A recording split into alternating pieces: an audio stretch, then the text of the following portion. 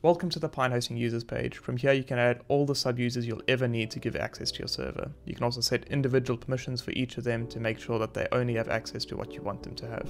To start adding users, you can click on new user. From here you can enter in the user email, or you can enter in mass emails if you separate it by a comma. So I'm going to do two for example. So we'll do test email at pinehosting.com. We'll separate it by a comma and we'll do test2 at pinehosting.com. From here, we can start setting the permissions. Obviously, because we're adding two emails at the same time, these guys will get the same permissions. If you want to add all permissions, you can select all, or you can go through and individually set the permissions you'd like. So for example, we can just give these guys access to start, stop, and restart the server. And then all we have to do is click invite user, and both of them will be added with the same permissions.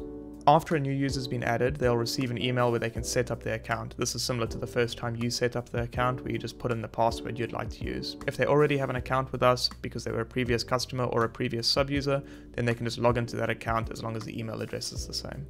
And then in future, if you ever wanted to grant more perms or reduce them, you can just click on edit over here and we can give this guy all the permissions, for example, save, and there we go. He has access to everything now. And finally, of course, if you want to remove any sub users, just click delete and they're gone.